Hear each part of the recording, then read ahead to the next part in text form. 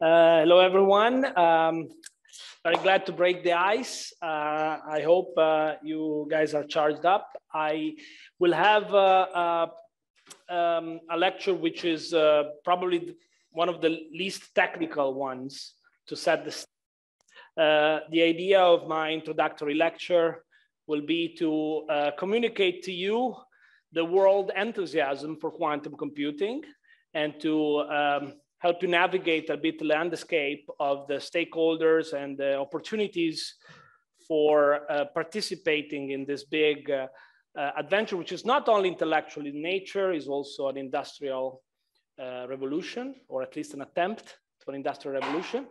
And, and so I thought it was appropriate to set the stage by uh, overviewing the uh, quantum computing landscape in terms of hardware architectures and opportunities to use quantum computers today, uh, with the understanding that most of the remaining part of the school will be instead uh, um, uh, deeping, uh, a deep dive into methods, and some of the methods will not be sufficiently um, appropriate for current existing quantum computers or prototypes which are coming up, but at least you will have a, a chance to understand what's missing between what we have now and what is required to simulate uh, field theories or condensed matter systems in, in general. So my name is Davide Venturelli. I'm, uh, um, I'm here in representation of uh, NASA, the space agency, which is uh, actually a partner of the Superconducting Quantum uh, Material and Systems Center, which is a sponsor of the school. And I'll tell you a little bit more about this as part of my overview. You can reach me at this email officially, but while I'm in Italy, I'm not allowed to actually check that email. So uh, you should have an email, uh, which is usra.edu, which is on the website of the school to reach out. But I'll be around here. I'm uh, room 104 while uh, I'm staying this week. My outline, we're going to go and discuss a bit the history of quantum technologies and recapping some concepts uh, which are useful for the rest of the school with the understanding that most of the speakers tried to to make their lectures as self-contained as possible, but there are some dependencies between lectures. So don't skip if you can. Uh, and, uh, and then we will go and discuss few architectures uh, of quantum computers, which are specifically uh, usable today to do quantum simulations. They're not necessarily the best computers uh, that will be available in a few years, but they are the ones that are usable today. Uh, and, and then uh, I'll conclude with some uh, resources, snapshots of uh, the rest of the course and a few other uh, informations. Uh, feel free to interrupt me. The idea of this lecture is also to, you know, be a little bit more acquainted to each other. So let's be as informal as possible. Let's start with a brief history. Now, um, this is more like a buzzword, but we are in something that sometimes the reporters, the, the, you know, the magazines, the, the, the blogs talk about, uh, refer to the second quantum revolution. What does that mean? Well, it means that quantum mechanics was discovered. You've seen pictures of, uh, you know, the big protagonists uh, really in this uh, places that uh, have uh, discovered important principles of quantum mechanics. But it was discovered at the beginning of the, the first part of the 1900s. And that's the first quantum revolution, the understanding of quantum mechanics. Now, what happened during the second half of that century is uh, that uh, quantum mechanics was formalized, was made operational, was verified. And then uh, people have started to couple the concepts of physics discovered by quantum mechanical uh, experiments and so on with the concepts of information science. And uh, uh, that's somewhat the birth of quantum information science with the first algorithms, with the first ideas on how to do quantum metrology, how to do quantum communication.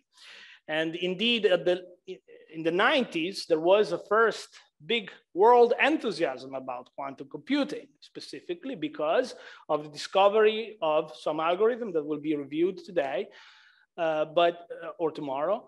But um, which made everyone excited because it was clear that quantum computers were qualitatively different than digital computers and some operations were uh, made uh, uh, accelerated in a way that no classical processor would ever be able to match, at least asymptotically. And, and then what happened in about 2007 roughly is that um, this second quantum revolution started because technology, nanotechnology, quantum control, electronics, ability to filter signals and process uh, AI, um, was sufficient to have the first qubits which were, you know, they didn't suck essentially. Okay, so that, that were able to be engineered and controllable and that they were able to be coupled. And, and this started um, another, you know, uh, big uh, uh, enthusiasm which wasn't realized uh, fully until the early 2010, 2012, 13, when the world realized that if you really want to build a quantum computer, now you can, or at least we think so.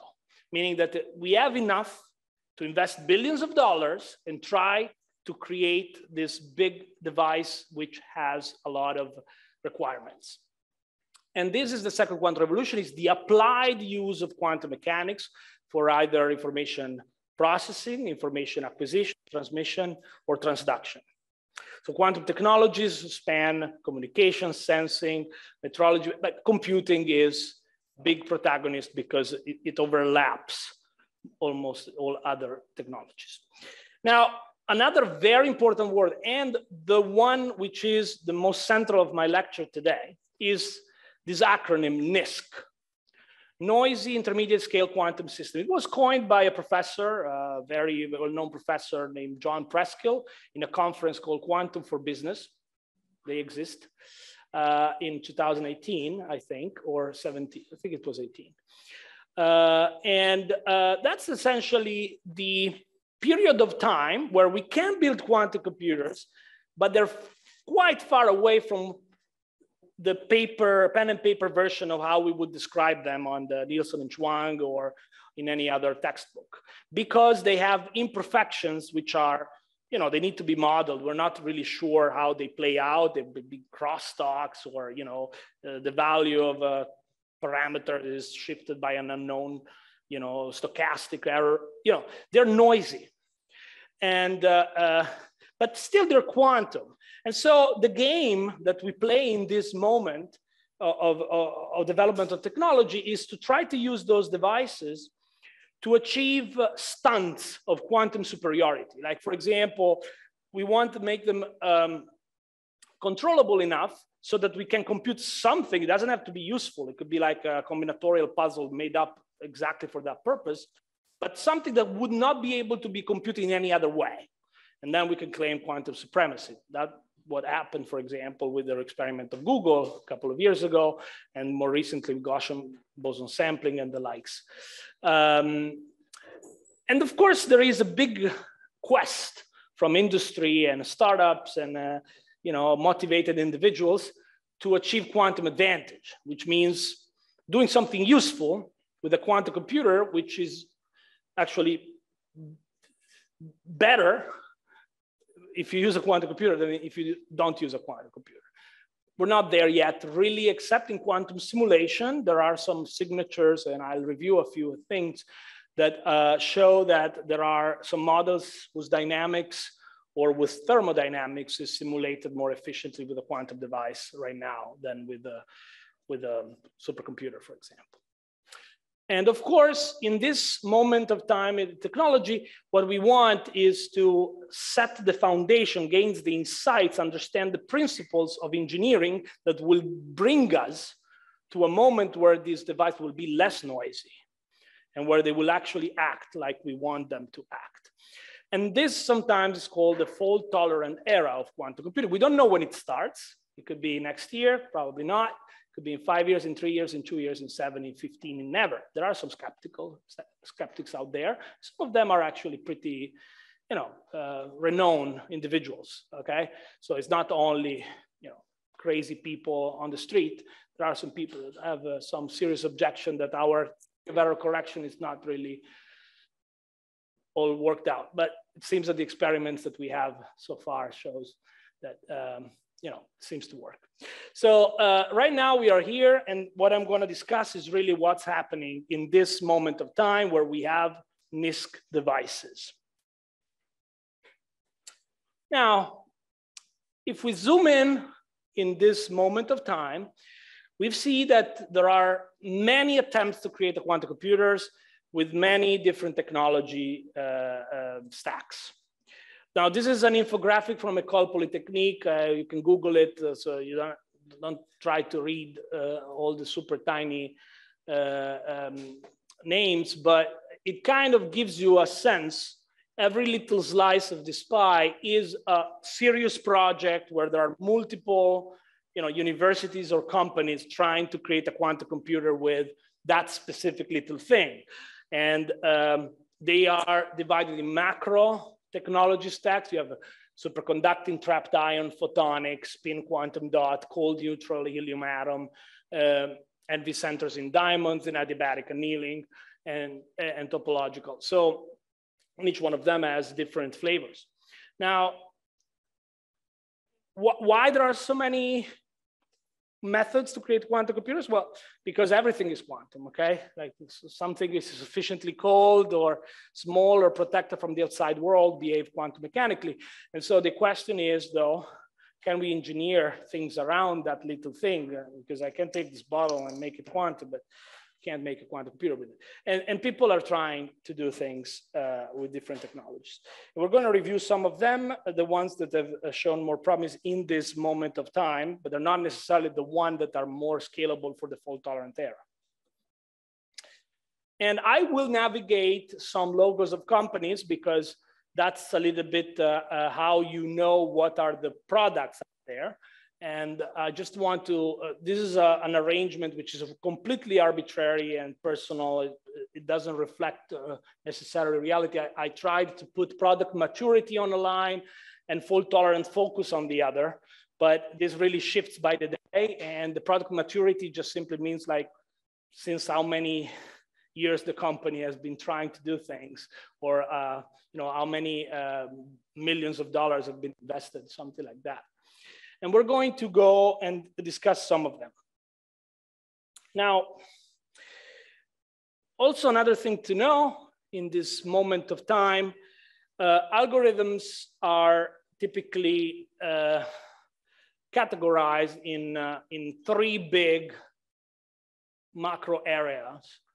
And uh, uh, I want to discuss them briefly, just as an orientation. The um, macro area number one is quantum simulation, which is the one which motivated the existence of this school. The question of the quantum simulation is, can we use a quantum computer, QPU means quantum processing unit, uh, as a programmable experiment. So we use quantum mechanics to simulate or emulate quantum mechanics. And, and, and then we, we can measure this experiment, which we program to, to, to emulate something else uh, fast, uh, can we measure this and obtain information fast than what we would have done by solving the Schrodinger equation or the Lindblad equation whatever on an uh, high performance computer. And the methods that, uh, in my view, are uh, you know, viable today to do this are uh, analog simulators. I'll discuss them a bit. And then variational methods, such as the ones that will be discussed in a few lectures. Um, there are also other methods which will be reviewed during the school, but they're not still very implementable in current computers because they have high requirements. Now, um, of course, if you're trying to re retrieve information which uh, belongs to a quantum system, the fidelity of your operation is particularly important because the statistics you're trying to emulate or collect uh, information on is quantum in nature. So you really need to try to represent your Hamiltonians, your dynamics as accurately as possible. Now, another field uh, of research is quantum machine learning. You will have a lecture on Friday on this. And uh, um, the question of quantum machine learning somewhat is, can we run a quantum neural network which is capable to learn patterns or distributions better than classical deep learning, for example? There are methods which are viable today. Some of them will be reviewed in the lecture. Uh, quantum machine learning, it's a little bit of a moving target also because the metrics of success of machine learning are a little bit arbitrary. So, you know, it's difficult to understand quantum advantage in a very strong and rigorous terms, but there are some interesting results uh, recently that are formally uh, demonstrating speed up, although they are mostly on processing quantum data. So you need actually to transduct the data to be quantum, and that might be a little bit uh, incurring overheads. Uh, it's unclear whether fidelity is uh, very important for quantum machine learning to work, but uh, definitely um, people are trying to understand that.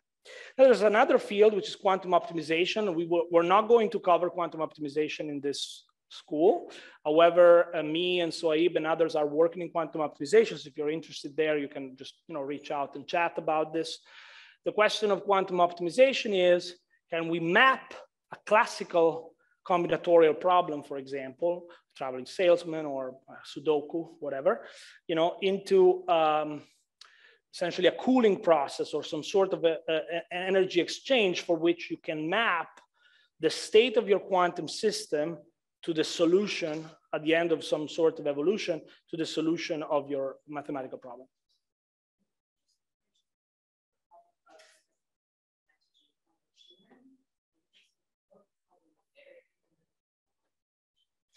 But uh, the question is, uh, is there more a problem in specifying advantage in quantum machine learning versus optimization?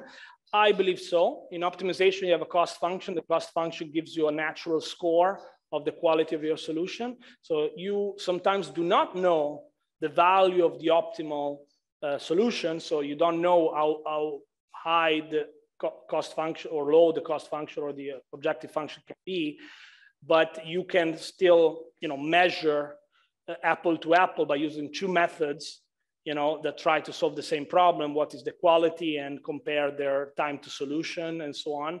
But in machine learning, since you're trying to emulate, for example, a generative model, you're trying to emulate how well you represent the target distribution. Sometimes you don't know the target distribution. You don't know really whether your method is, is, is providing you better inference, for example, than the others. And uh, uh, I, I, am not uh, um, active quantum machine learning right now, but uh, I believe that during the lecture of quantum machine learning, or you can reach out to Andrea, which is uh, here, uh, um, she can tell you some metrics that are used there to, to compare the performance of algorithms.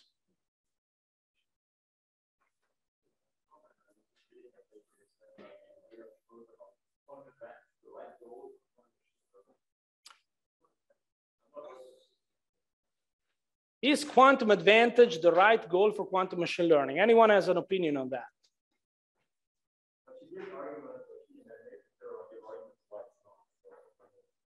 Okay.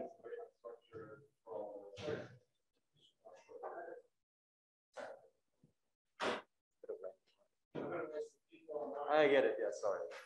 Okay, so I was just saying that as a random comment, I was reading title is Quantum Advantage the right goal for quantum machine learning, where they explain why it may not be the right goal uh, because the problems that are studied in quantum computing are typically very different than the problems that are solved by machine learning. I mean, so, um, but anyway, it's just a random comment also. Oh, I mean, I would find quantum advantage in a, in a slide or so, but um, okay, I didn't read the paper, but uh, I like you you shouldn't really compare it to um, how classical computers use machine learning to do you know stuff like image recognition and so forth because quantum computers might actually be better at handling quantum data um, and maybe that's what you should try to apply quantum machine learning to. Um, whereas if you try to encode classical data into a quantum register and then try to do something computational with it, it's very unclear if that can actually lead to an advantage and whether that's a sensible thing to do. I haven't read that paper extensively either, Peter, but you know, I think that's that's like a folk kind of you know uh, sentiment that's often shared, I guess, in QML.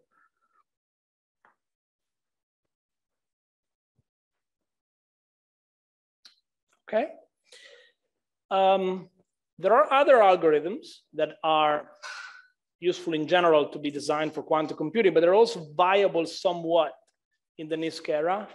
And uh, um, those are like, for example, randomness generation that could be used for cryptography or verification of randomness, um, linear algebra speedups, so matrix multiplications and the likes. There's some attempt to solve uh, differential equations with the algorithms that are viable in the near term, and also to encode data structures and to perform tests of quantumness or foundational um, physics uh, experiments uh, through algorithms. Some of these things will be touched upon by speakers during the school, but they're not a focus uh, as far as I understand. Yes, those are the speakers that will touch some of those uh, uh, um, topics, so you can catch them at at the coffee. Uh, uh, yeah, we have a coffee machine there, so here you are. Okay, so continuing the big picture again, uh, the enthusiasm is unprecedented on quantum computing despite the little bumps of the enthusiasm meter in, in the early, in the late 90s and in the early 2000s. This is really something that I've never seen before in quantum computing. We have more than $30 billion invested by the public sector, so grants and government programs worldwide to build quantum computers. Okay, this is a graph from Qureca. It's a nice uh, website uh, where you can find a lot of information about the ecosystem of quantum computing. And since we are in Europe, I wanted to highlight a couple of things about what's going on in Europe right now. There is a quantum flagship. Now, the European Commission defines only very few things as flagships projects. Quantum is one of them. Okay, whether it was the genome, the connectome project, this is one of them. So they're very committed to fund quantum technologies. There is a consortium of uh, entities that uh, uh discuss you know, quantum roadmaps and all. It's called QUIC. European Innovation Council is putting calls continuously for startups or for other consortium of universities to team up to advance quantum computing. And in Italy, and this is a news of the 19th of July, so really a few days ago, Fine, well, but then the government fell, so I don't know what's happening. But yes, in theory, there's been a deployment, uh, a commitment for more than 300 million in, um, well, around the activities in the University of Bologna, but will be spread all over. Uh, and I'm sure that uh, the Italian professors here know much more than what I know from the websites about what's going on here. So it's interesting for you to know these things because as career-wise, you want to be where there's a lot of attention and funding. Now, I represent uh, uh, NASA, which is a US government agency, and SQMS is an important US government investment. So I want to just let you know what's going on in the United States. United States, it's an interesting country, okay? I've been there since 10 years. I'm Italian originally. Now I'm also an American citizen. And the States, when they do things seriously, in my view, you know, they, they move mountains. And uh, they have quantum.gov, which beside having a very cool logo and its uh, website, you go, you know, really coordinates and accentuates a lot of resources for government funding in quantum. And agencies such as DARPA, the Department of Energy, the NSF, IARPA, have put more than $1 billion in quantum uh, through the so-called quantum National Quantum Initiative. And then there are other, uh, at least three agencies which have like committed, more than 10 people, uh, full-time person, staffed, uh, you know, uh, groups doing quantum computing uh, research. And NASA is one of them. There's the Air Force and the Navy. And there's also a consortium of, uh, um, of uh, companies which try to develop the supply chain of quantum technologies called the QEDC. and uh, uh, it's uh, somewhat sponsored and in collaboration with the National Institute of Standard and Technology. So those are the agencies which are really committed to, to make things work. I want to zoom in on some centers which might be target of your job applications if you're, uh, you know, a quantum simulation person. The National Science Foundation, which sponsors academia in the United States, have made uh, uh, five, um, have, have, invested $25 million each for creation of five centers in the United States. Two of them are pretty heavily into quantum simulation. So one is in Berkeley, California, one is University of Maryland, but they are also having satellite collaborations. And they are, one is the Challenging Institute for Quantum Computation, the other the Institute for Robust Quantum Simulation. So I invite you to, you know, have a look what's going on there. They're powerhouses of activities with very prominent researchers. And they're working on all sorts of uh, technologies and approaches that you will learn during the school. And of course, there's also the investment of the Department of Energy, which made the school possible. There are five centers in the United States which are focused around government laboratories which traditionally work for the Department of Energy. They are uh, specialized in uh, uh, covering specific topics. We are representation, representation of uh, SQMS, and on Wednesday you will get an introduction of what we're doing at SQMS. And, but basically the, the tagline is we're studying the problem of decoherence in superconductors and we're building a new type of quantum computer and developing qu quantum sensor-based superconducting technologies, okay? There are other four, and uh, all of them are uh, very interesting destinations for research. Okay, enough a little bit with the, uh, um, with the big picture. I will go a little bit more into the uh, details of uh, uh, the status of technology. But before that, I want to tell you, in this moment of time, which is the NISQ era, it's very important to ask the right questions. Okay, these computers are not really very powerful right now. So we want to use them wisely, and we want to make sure that we learn something every time we we uh, we use them. Otherwise, we do just busy work. And I think it's very inspirational to see what DARPA is doing because they DARPA has the culture. Uh, DARPA is the defense uh, uh, agency for advanced projects for the Department of Defense, but it's typically you know, a big promoter of technology innovation. The internet exists because of DARPA. And, um, and I think it's very inst instructive to look at what are the programs of DARPA because they ask, in my view, the, the right questions. For example, there's a program where I'm personally heavily involved, which is uh, trying to ask the question whether you can uh, actually deliver quantum advantage with devices which are noisy in optimization. That's an important question. Nobody knows whether it's really possible or not uh, with current devices to get quantum advantage. It's another program which uh, tries to understand whether quantum annealing, which is a specific technology, we're not going to cover it in this school, but it, it's a technology which is viable today to have thousands of qubits, whether that technology can uh, deliver quantum advantage for machine learning, for example. Or what are the fundamental limits of, uh, of, of this uh, approach? There's a new program which is called quantum benchmarking, uh, where we're trying to estimate the utility of quantum computers. Utility in uh, like dollar value, again, like very practical questions in whether it, is it worth to run a quantum computer which is you know fully fledged fault tolerant and so on? There's a new program which is about to start which is called under explorer system for utility scale quantum computing which is trying to identify things which didn't get as much funding as others because of historical reasons but they have peculiarities that are uh, useful for uh, breakthroughs and then there's also a program on uh, quantum inspired computing. That's another buzzword you will find. Quantum inspired uh, computing is essentially physics-based methods which have some historical or aesthetical resemblance to quantum computing, which are used for, uh, for uh, typically optimization, but not only. So neuromorphic is a little bit in that direction. There is a, a simulated annealing or parallel tempering. There is the coherent Ising machines, which are uh, photonic devices uh, which uh, try to you know, achieve optimization of combinatorial problems through physics-based methods, typically analog. What is the hope that we have in this period of time?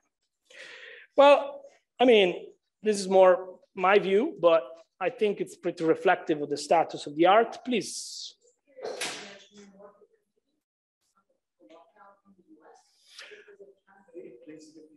The question is, is neuromorphic computing popular in the US? Is it something that uh, comes up a lot?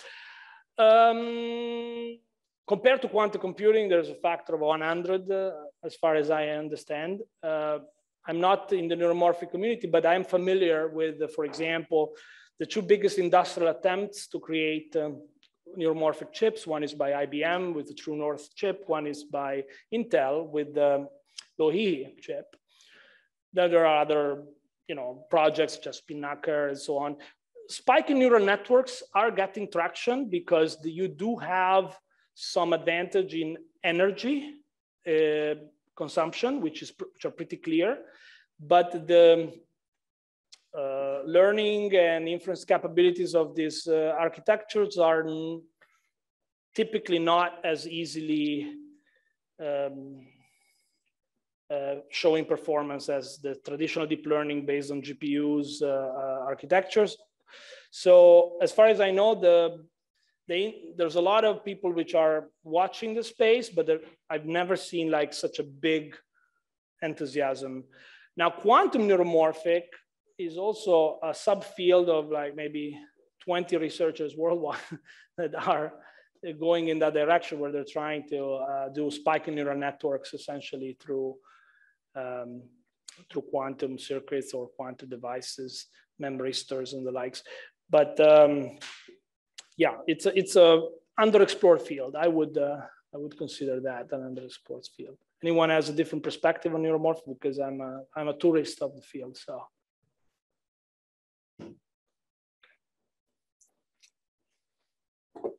But the hope that I have, and many of my colleagues have, during this moment of time where we cannot deploy the algorithm for which we can prove mathematically that there is a speed up, is that quantum advantage, speed up, ability to do things which are intractable will be determined empirically rather than identified theoretically beforehand. Because we're working with noisy device, sometimes you cannot model the noise. You can, you know, you can just limitedly, limitedly understanding what you're doing. We hope that a little bit like in machine learning, in deep learning, you will achieve uh, through trial and error, error some signature of quantum advantage. Of course, this is not really completely a blind search. Okay, we, we're guided by simulations and other sort of principles, but definitely we're not guided by hard proofs of, uh, of performance uh, for most of the algorithms which are employed in the NISQ era. And typically what you will see if you scan the literature is a row, like a, a framework like this. Uh, you, you try something, you know, it's quantum is, uh, you know, well thought of, then you try it, and then you ask yourself, well, did I do better than some other thing that I could have done? Like, doesn't have to be the best thing, it just be some other things.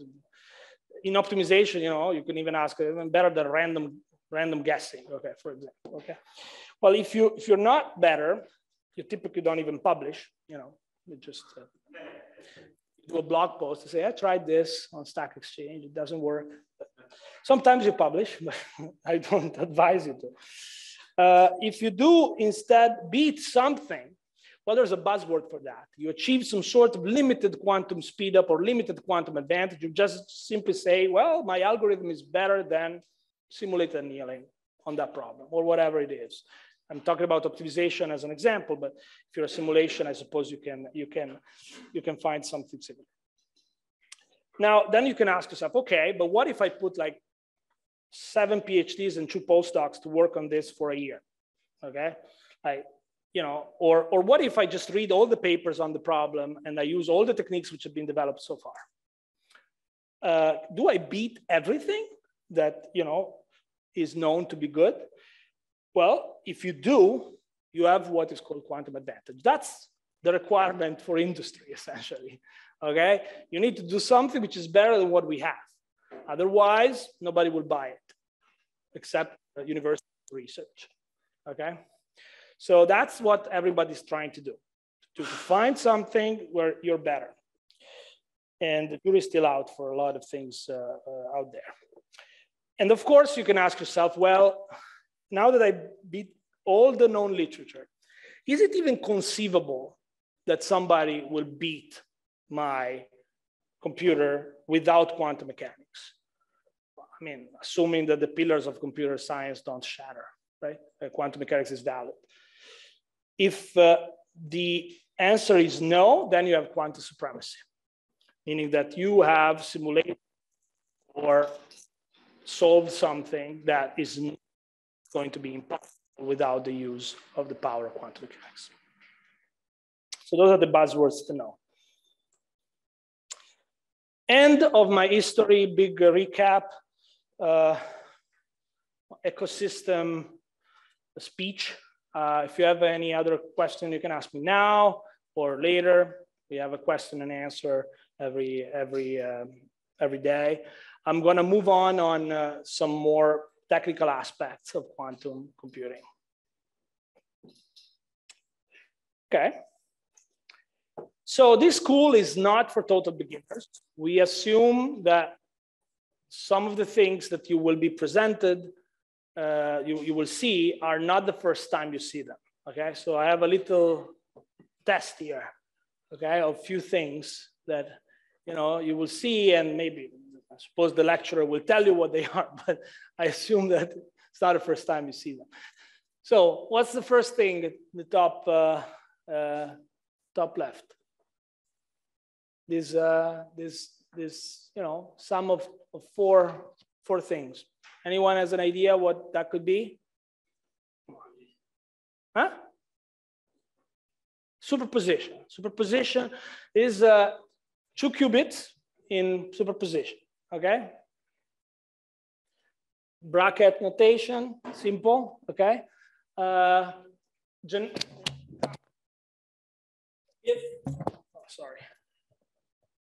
Uh, uh, you know, if the coefficients are not, uh, you know, uh, having some symmetries, this is an entangled state. I hope I'm not saying things that, you know, shock you. Okay, good. Uh, second thing, what's this nice ball? Bloch sphere. Yes, Bloch sphere, just like a visual representation of a qubit. I suppose that I've seen some slides, they use it, so just wanted to show you. Uh, I suppose, you, like if you don't know these things, it's fine, totally. A lot of people you come from mathematics, from, I don't know, uh, high energy physics, uh, uh, and maybe they didn't have a lot of quantum computing backgrounds. Just, you know, ask us something to read. There's a lot of tutorials now that there are startups like that. So, you know, I can give you a lot of things you can read tonight and get up to speed, maybe. What if, what? For the what? For the two qubits. the two qubits. Anyone know why I didn't, uh, didn't, didn't, draw the Bloch sphere for two qubits? Well, besides the fact that there are generalizations for two qubits of Bloch sphere, right?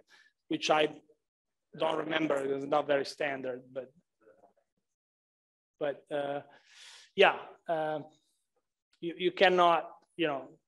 So how many how many real numbers you need to describe the register of n qubits? Anyone knows?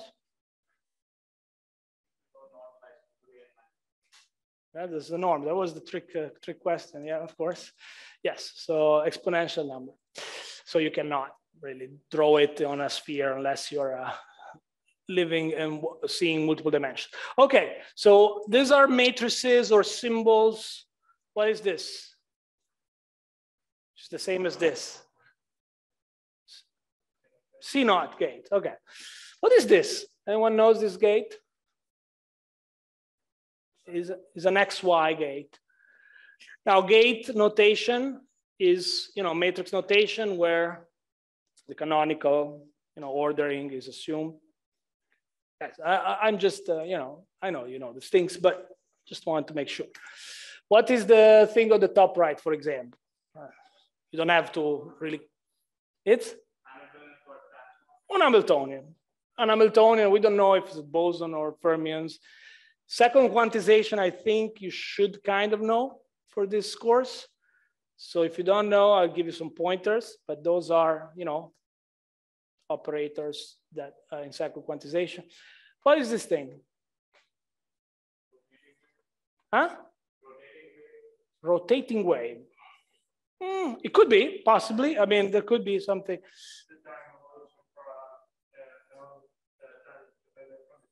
Yes, it's a time evolution.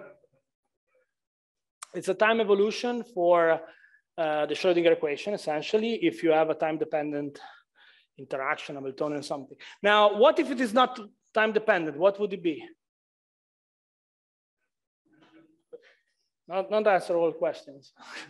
okay, yes, it would be the exponential of uh, um, minus i h t. You will see those things in the next lectures and so on. What is this thing? Reduced density matrix. So for a few on Thursday, we will have lectures on error mitigation.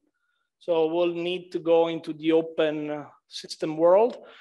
You might be also you know, um, certainly be uh, happy if you know also Lindblad evolution, but it's not necessary. But at least the formalism of uh, density matrices is important for some of the lectures. Okay, that was the only test in my in my little expose. Let's move on. Okay, this is super basic recap. Next lecture is algorithm one, so they will tell you these things much better than me. But just to set uh, things straight, quantum mechanics in quantum computing is essentially a combination of two things, evolution and measurement, coherent evolution and measurements. Quantum program is the execution of these operations, uh, usually in terms of gates, because you cannot write down the evolution of the entire system is exponentially large. So you need to break it down into components, typically gates not necessarily only gates, could be an analog evolution of multiple gates, but you need to be able to, to decompose it in such a way that is, uh, you know, tractable for execution in a, in a quantum computer. And a quantum gate is unitary operation. One important thing I wanted to, um, to say about quantum computing, especially for implementation of quantum computing, is that typically you have these circuits which are beautiful and you will see a lot of them during the lectures, which are, you know, your, uh, they're typically a space-time diagram where time goes in one direction and you start with qubits initialized somewhere, then you have these gates which entangle the qubits. You cannot write anymore the wave function as you go on. And then at the end you measure. Sometimes you can measure in the middle as well. That's essentially, those are idealized circuits, okay? Those are things which are hardware agnostic. But now when you have hardware, you have at least two things to worry about. One is synthesis. Your full you know, evolution, your full Schrodinger equation needs to be, as I mentioned, broken down into operations which are implementable as native um, uh, instructions in your architecture that you're running. So that's a big problem. We're going to discuss it for a second. Then a second problem is more an optimization problem, but it could be a big overhead, which is uh, uh, once you broke down your uh, quantum algorithm in the native instruction set of your processor, you still need to compile, meaning that you need to make sure that it is executed as efficiently as possible uh, by, by looking at the constraints of the architecture. And now that I'm gonna review some architecture, you'll understand a little bit the flavor of these two things. But let's go in giving you some examples. One is the synthesis example. Uh, is an important result, which is very relevant for superconducting architectures. If you have single qubit rotations, on the X, Y, or Z direction. Those are the single uh, qubit rotation matrices. And then you have CNOT. You do have what's called a universal set of gates, which allows you to do any two qubit gate. Now, any two qubit gate could be written as the exponential of these uh, essential interactions here. And there is a known optimal decomposition of any gate written in that form as part of maximum three CNOTs and a certain number of gates, which are uh, depending on whether you're trying to do something simple or something uh, more complicated. And typically, so that, that's, that kind of gives you a, a bound on the maximum complexity of executing a gate if you have access to this set of uh, native operation, which is typical for superconducting systems, but is not necessarily typical for other systems. But usually, I mean, not usually, but often, uh, people demonstrate universality by mapping things to CNOT and then using this sort of results. Okay, so once you have, uh, there are other more even elegant theorems that don't require parametrized gates with the angles, but let's stick to those things for the NISQ era, which is uh, what typically is used. So this is an example of synthesis. Now, an example of compilation, just to give you an idea. There was a question? Now, usually when you look at a circuit, you essentially see that, that qubits needs to interact in pairs because two qubit gates typically are used. So there are pairs and edges. So suppose, for example, that you look at your algorithm and you know that you need to schedule, you need to execute gates between the, the qubits which are described in this graph. And very often you will see in uh, variational algorithms, the order doesn't really matter. Like, you know, you could decide to execute a specific gate before another. Not that they commute, but the order doesn't matter. Sometimes they commute, sometimes they not. Now, the problem is these qubits lie on a, on a chip sometimes, if it is a solid state architecture or, or in some other substrate. And so it's not for granted that you do have interactions between that pair freely available in your architecture.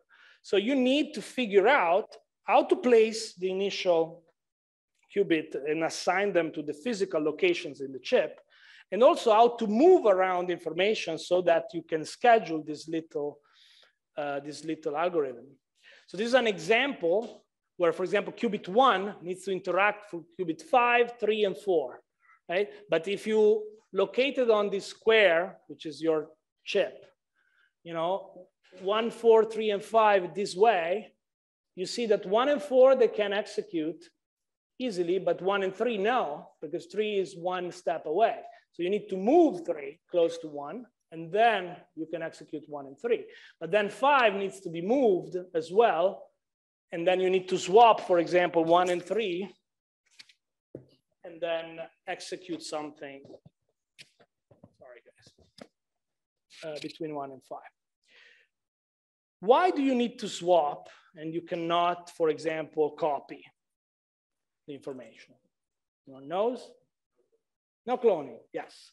You cannot, you can only do reversible operations, okay? So swap is a gate, it's typically like that. A lot of the architectures that we will see and you can use today require this sort of game, which is terribly costly. So you can try to avoid it for many algorithms. And then you have this sort of schedules that, uh, you know, needs to be as compact as possible to execute. It's a Gantt chart for the business people in the world, you know, um, that decides at any given time what gates are operating, essentially. Okay. And, uh, oh, still on compilation, just to know, you know, in the worst case scenario, you want all the qubits to interact with everyone else. That happens in a lot of algorithms. In the worst case scenario, you need to implement a swap network. And the swap network uh, in this, you know, um, in the most parallelizable case, it gives you an overhead of n steps because you need to do some sort of round robin tournament all the time between pairs and make sure that everyone arrives to interact with the farther away. And uh, being scheduled on a line, it's the same as being scheduled essentially in uh, um, on a 2D graph or even non-planar graph because you need to schedule all the n times n minus one divided by two gates. So the overhead of compilation is really important in uh, current architectures. Okay, so now that you have this, uh, oh, people, people on the chat were also answering the questions. Thank you guys. I'll try to, to look sometimes. So now let's go and review some of the architectures that you can use today. Starting with, well, a disclaimer. I already made it, but just to make sure, we're not gonna look at computers which are not available today through some sort of cloud service or some vendor that you can pay for.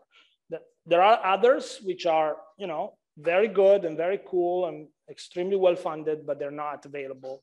So I don't know them very well or, you know, um, uh, so they're not part of this presentation. This is uh, incomplete. Starting with the superconducting. Now, uh, these are two tutorials you can go and, and check for having the physics detail. But one of the most important architecture that uh, is viable today is based on superconducting transmons. Those are circuits which are um, cooled down to very low temperature, millikelvin usually. And uh, um, essentially, they are based on intuition that if you have an LC circuit and you cool it down very, uh, at very low temperature where the quantum effects uh, dominate versus the thermal uh, broadenings and so forth, it behaves like an harmonic oscillator. But if you use a nonlinear element in the circuit, such as a Josephson junction, which is an effect that happens in superconductors when you create a tunnel uh, junction between two parts of a, of a superconductor, um, you have the ability to make your harmonic oscillator anharmonic. And you have the ability to essentially have energy levels, which are non-degenerate, which seems to be a requirement for quantum control. If you assign the computational value zero to the ground state of your anharmonic oscillator, which is just a circuit cooled down, as I mentioned before, uh, and the first uh, um, excited states the computational value one, you have an energy um, difference, which is a, a, frequency that you can access uh, through uh, essentially microwaves that you can uh, uh, use to drive the evolution of the system without uh, uh, affecting the other levels. Because if it was a, a fully harmonic oscillator, you would not know where you will end up because you have you know, a ladder of degenerate um, uh, transitions. And so the transmons are an example of a circuit that allows you to have some control over two levels of a well-defined engineering system. And it's a very popular architecture because you can couple transmons easily, either capacitively or uh, through inductance, uh, and, and then creating essentially Hamiltonians of two-level systems, an interaction two-level systems. There are other uh, kind of uh, uh, circuits such as fluxonium where you don't shunt with a, with a capacitance, but you shunt with um, an inductance, but those are more difficult to couple, for example. So they're not as popular despite having advantages in some other directions. Uh, so these are, these are uh, the basic components of a lot of processors that are used and deployed in industry today. For example, the big three when I say big, I mean pub public funded companies, okay? There are other companies which are, you know, uh, or university groups that are, you know, having big uh, and, and very performant uh, chips, but those are the three which are uh, publicly funded in the United States. I don't know China, but those are the three available on the cloud. So IBM has a circuit with now 127 qubits.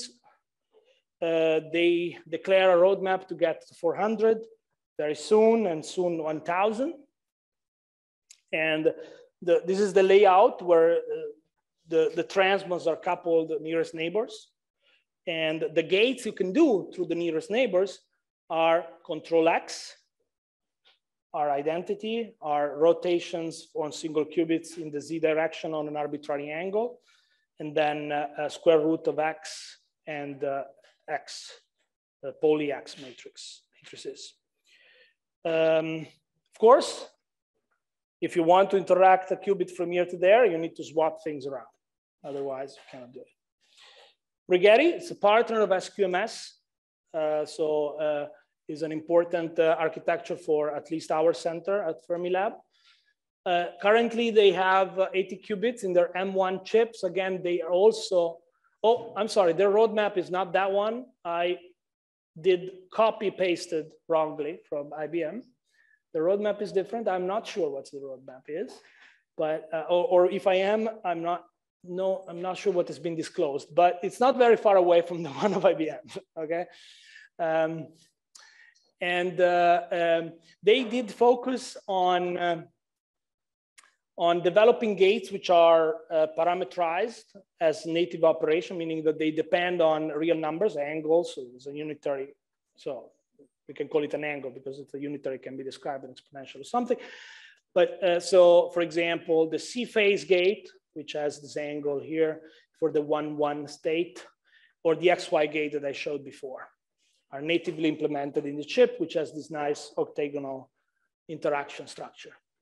Then you have Google, which has released the chip with 72 qubits, but only 53 are kind of working. And this is common. I mean, people say it's 127, but most of the literature, you will see people using 10, 12, 15, 50 because they choose the best uh, in, in, the chip, even if the chip is large. Um, now, um, Google has a, a Sycamore chip. Their roadmap is not really in the number of qubits. They want to get to a logical qubit. So they're pretty focused towards the fault tolerance uh, um, objectives and milestones. And they have as native operations some uh, gates, which is similar somewhat to the XY gate, depending on two angles. It's called the Sycamore gate or uh, FSIM. Yes.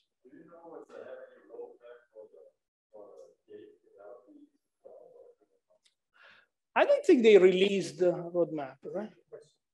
Oh, the question is, what's the roadmap for the fidelities? I don't think they released the really roadmaps. They're more like bragging when they achieve some extra, uh, you know, values. But uh, I know that everybody wants 99.9. Uh, and they all say it's coming.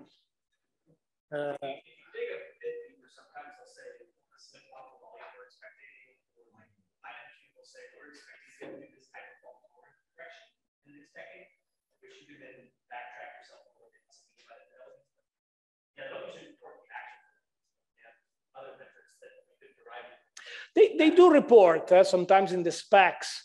When you go online, you can see the fidelity for each uh, gate. But then in their press releases, they don't overemphasize their fidelity. And sometimes it's uh, more the mean fidelity or the best in the chip, you know.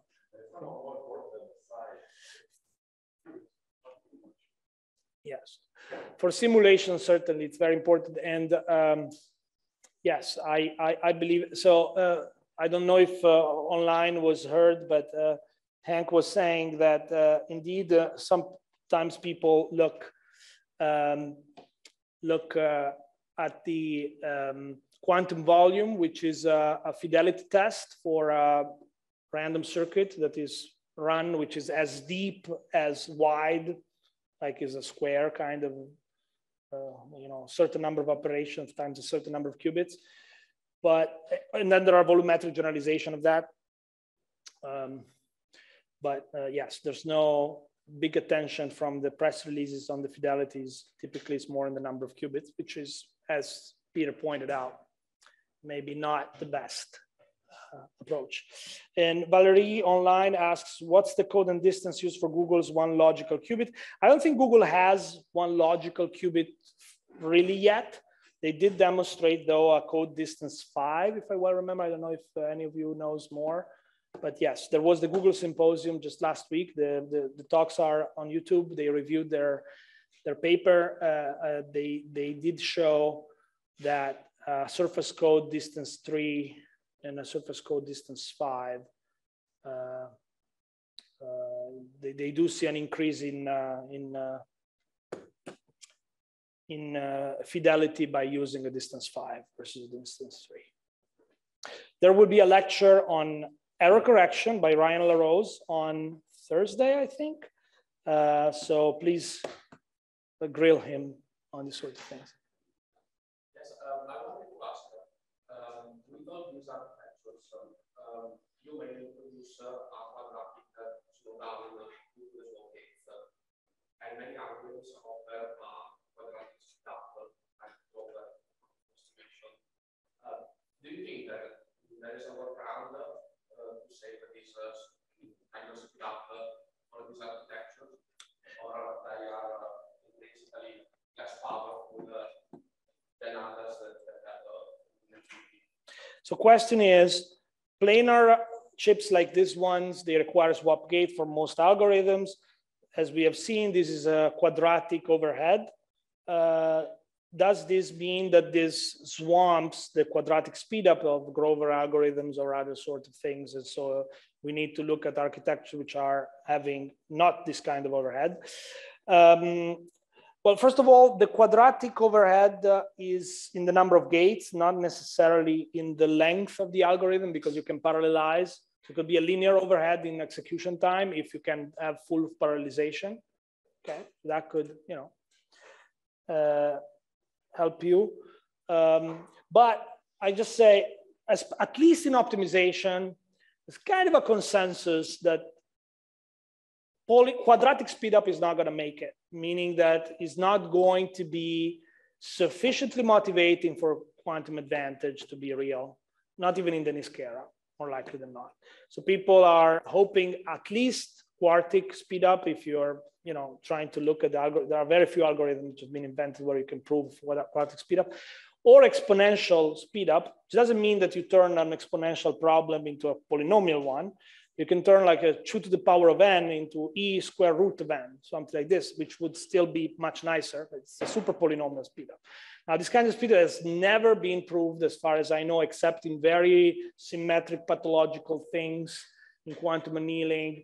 Uh, but uh, there's some sort of hope in my community that empirically speaking, for the median case and not the worst case, you can get this sort of speed up.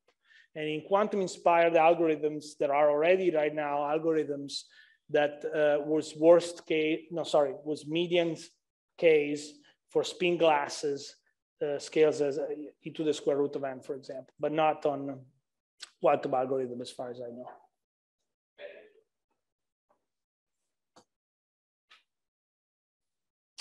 Okay, so just this is just a motivational uh, snapshot of things. There are nature papers, science papers, PRL, PRX, uh, and uh, very prominent preprints, some of them also from our team. Uh, where uh, these devices, despite all their flaws, they've been used to do something interesting in quantum simulation. And as we proceed during the summer school this week, you will have some uh, understanding of what are these experiments that have been done. This will be very brief uh, shout out to the fact that at uh, SQMS, we do use superconducting transmon chips such as the one of Rigetti, absolutely yes. But we have also, as you've seen in the tagline before, the ambition to create a new quantum computer, which works with superconductors, but it works with something uh, which uh, uh is called a circuit, circuit quantum electrodynamics model. The idea, the main idea is the transmon is just like one device. You can have multiple ones, but typically one is sometimes sufficient if you don't have a, like a large computer that is not used as a processing uh, memory or qubit for your algorithm, but is used as a nonlinear arbitrator of interactions between electromagnetic modes. Since it's a circuit, it can be capacity uh, coupled to electrical fields, for example. Now, if you focus and you confine the electrical field somewhat, for example, by a big box of superconductors, this is a cavity like the ones we, we developed at Fermilab, and then you, you can uh, start to have this circuit uh, being a, a, coupler between uh, photonic modes in the, in, in, in the cavity. So the, this kind of architectures they're called CQED architecture. You can build them also without 3D cavities, but just using 2D resonators. Now, the lecture uh, series of this virtual school of last year uh, here at GGI uh, featured extensive explanation of this architecture. There are four lectures by our colleague, uh, Jens Koch, and I invite you to have a look there. And uh, I think on Wednesday, you will have also some overview of what we're building at Fermilab. This is not a, a, computer available yet. You cannot use it to play with, but there are other companies, not only Fermilab, which are building this kind of architectures, okay? So uh, even from the commercial world, you will have, there's Alice and Bob, there is Nord Quantique, there are other companies with, and AWS, which are trying to do this sort of things. Okay, let's switch gears completely, okay? Let's go to uh, neutral atoms. This is an architecture which, uh, in my view, is one having like hell of a momentum right now, with a lot of papers in Science and Nature and the likes, uh, showing that you can do simulations of complex systems um, uh, with with the with this uh, uh, um, atoms. And um, I want just to give you very generic basic knowledge on this of this. So basically, if you take an atom which is uh, uh, neutral, and you take one of the electrons of this atom and, and, and you position this electron in a bound state with a very high quantum number. So it's an orbital, which is you know, n equal 100, not n equal 3, 4, 5, you know, far away. So the, the atoms is formally actually much larger than its typical uh, ground state. Uh, it can be a, even a micron size. I mean, a huge atom, 10,000 times larger because of these electrons, which is loosely bound. Well, then if you do this and you have multiple of them around, they become interacting through van der Waals forces, okay? And you can actually write the Hamiltonian of interaction between them. If you study van der Waals interaction, it will go as the uh, power, sixth power inverse, the way they interact. But uh, the fun thing is that you can drive transitions between this uh, ground state, which is typically defined in the hyperfine structure, but and a Rydberg state, which is this loosely bound high state. And if you shine a laser or if, if, you, if you induce this interaction in multiple atoms at the same time, you have something which is called the Rydberg blockade, meaning that because of these van der Waals interactions, you will have um, a radius, like a, a, a, distance for which the simultaneous excitations of, of two atoms at the same time would be forbidden because you would need to give the extra energy due to their interacting energy. Uh, and so you would, uh, you would create superposition between you know, ground state and excited states uh, uh, entangled. If you're in a situation where you do not have, um, you're within the, the blockade radius, meaning that you didn't provide this extra energy for uh, having double excited states, or you would, if you're beyond that radius, you would excite both, both atoms at the same time. Now, this kind of nice uh, rules could be exploited to do information processing but information processing in an analog way, meaning that you have these evolutions that you can control based on the geometry of your, uh, of your atoms. Where they are located, you can essentially uh, shine lasers and make them interact following these two qualitative rules that I tell you about. And people have built processors on this, And uh, there are open source APIs uh, developed also by our partners, Unitary Fund. You will have a few lectures on uh, Unitary Fund work uh, during the school, where, where you can build with this basic tool set, uh, interesting simulations. People have developed techniques to take these atoms and position them in 3D in uh, arbitrary shapes by using lasers which are focused and uh, you have these grids of lasers which uh, you know they remind a little bit of uh, you know like if you're a thief trying to steal something you have all these lasers that are you know uh, defining locations where the atoms uh, can stay and you know people from Paris, you know, they're very bold. They even created the Eiffel Tower in a paper showing that, uh, you know, these atoms can be arbitrarily shaped. So it means that you can really devise Hamiltonians that, you know, uh, follow arbitrary graphs and then following these rules of Rydberg blockade, the Rydberg interactions, you can have interesting gates such as the XY gate or the Ising gate.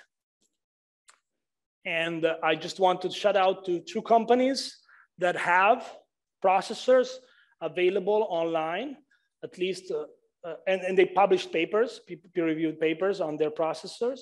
There's QuEra, which uh, has, uh, will, will have on AWS 256 um, uh, qubits, atoms, uh, and they promise a thousand in a couple of years. Pasqal has 100 accessible here in Italy through Cineca, and 300 soon, and then 1,000 soon.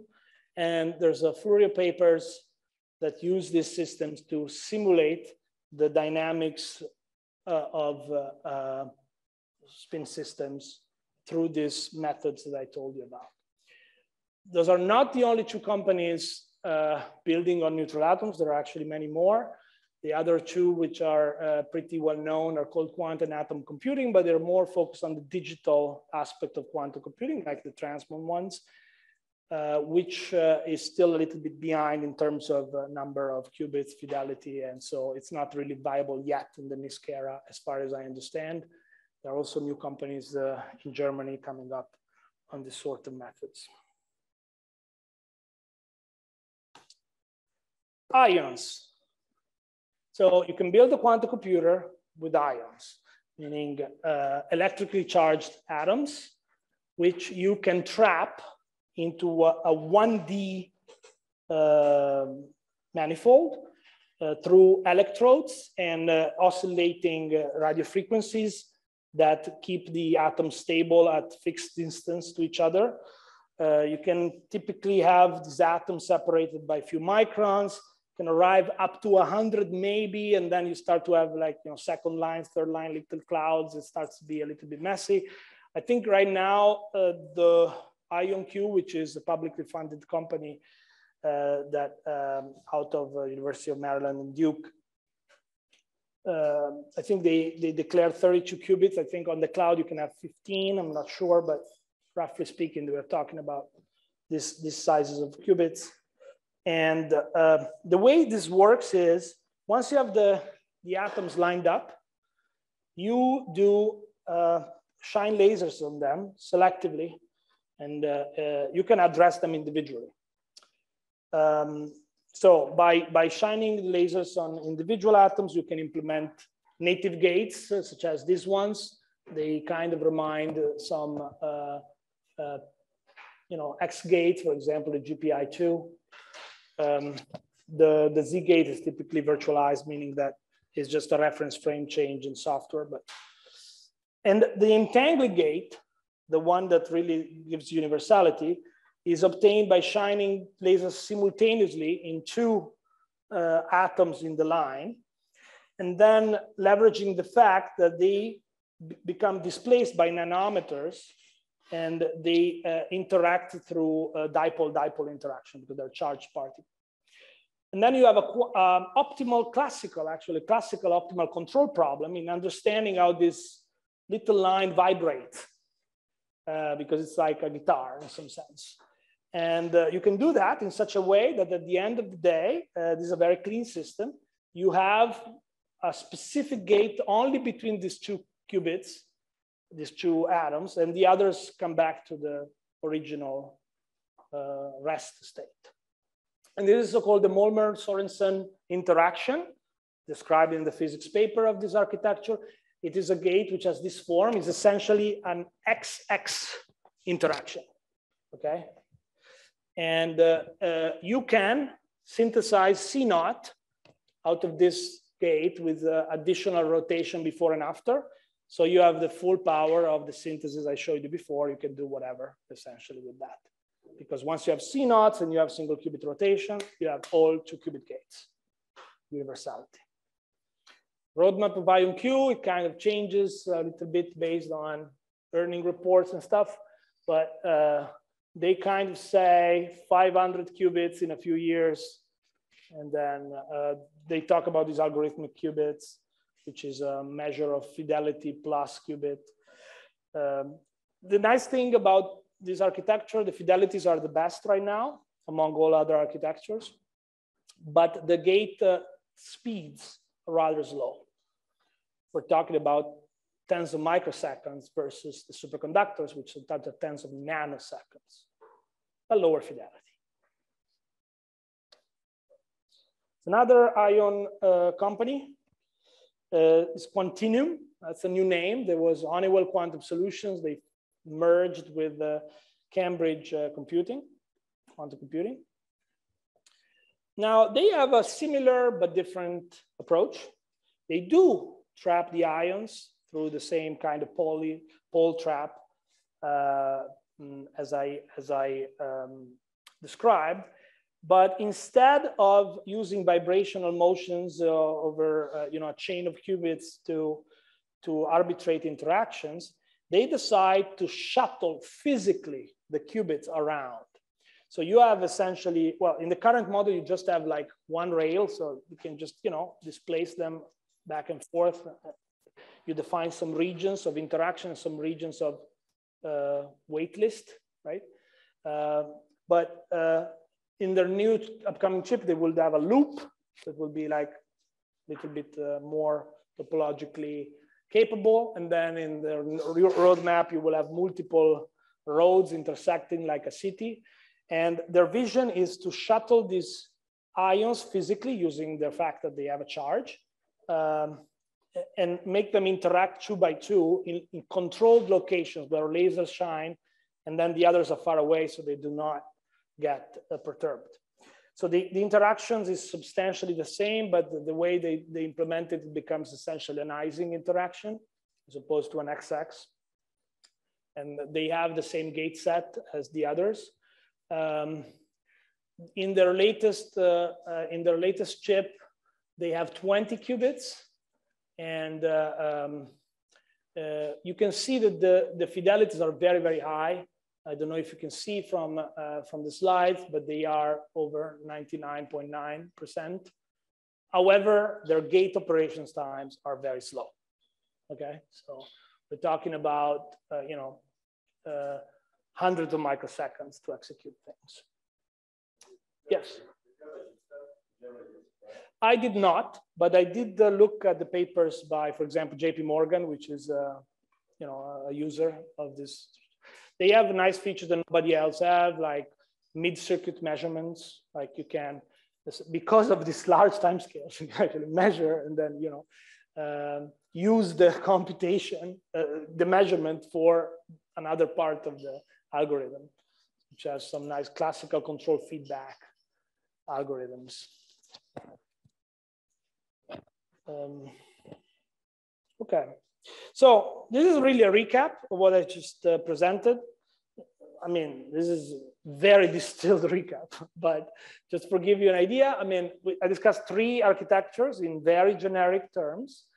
Um, the fastest in terms of execution speed are the superconductors.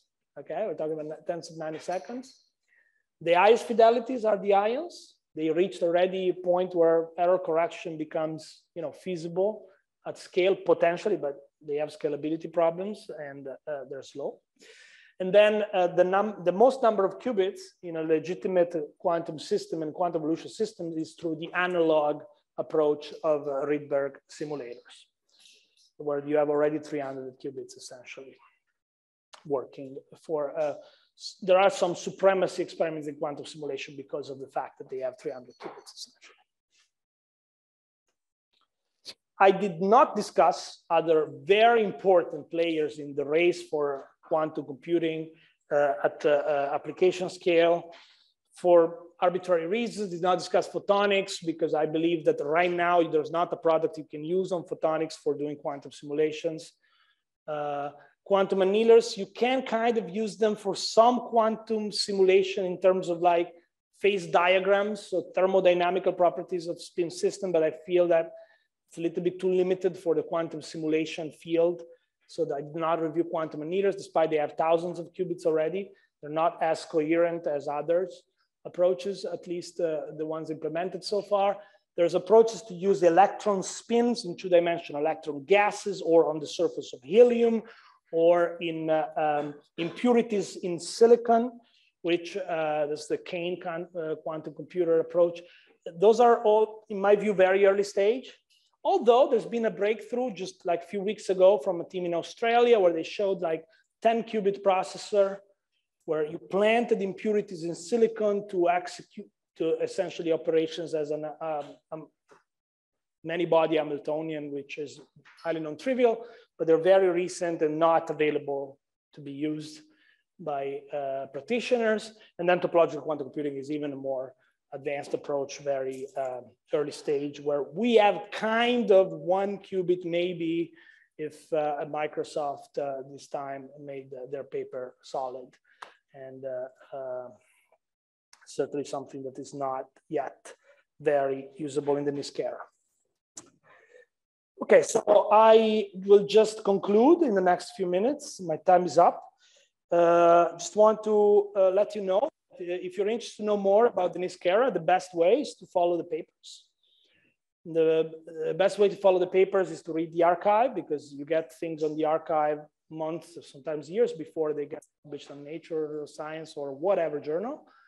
And I actually uh, work on a, a newsletter that every month sends a digest of all the papers I can find together with my collaborators on NISQ uh, kind of approaches. So I suggest you subscribe. It's totally free and it's once a month. You get about 50 papers to look at, but you can just read the, the titles. You don't have to read them, all of them, divided by categories, depending on what you like. And also we do have uh, uh, a specialized uh, arXiv digest monthly again for just the superconducting uh, quantum materials center.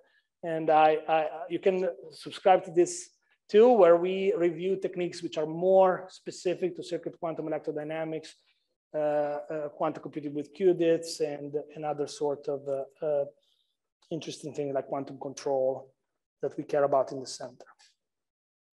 Now, uh, you have seen the agenda. There has been, there will be some changes that will be communicated to you, but they're not dramatic changes. Maybe something that's going to be shifted of uh, on Wednesday and on Friday. But uh, uh, this is, you know, the snapshot. If you just seen the table with generic titles of the sessions, go on the website of GGI. We also put the name of the speakers and a little bit more details on the title of their sessions.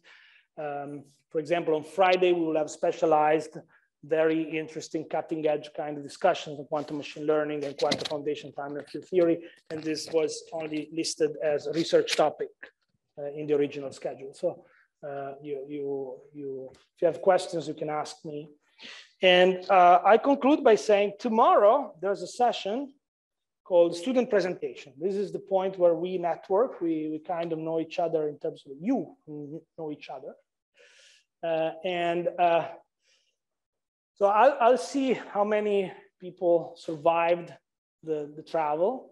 Uh, but I guess we're about 34 uh, in, in attendance. So that means we have uh, about two to three minutes each uh, in terms of students.